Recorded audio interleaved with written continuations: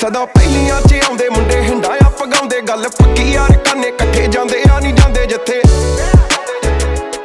ਉਹ ਛੇਤੀ ਦਬਦੇ ਆ ਜੱਟ ਕਿੱਥੇ ਇਕੱਠੇ ਜਾਂਦੇ ਆ, ਨਹੀਂ ਜਾਂਦੇ ਜਿੱਥੇ।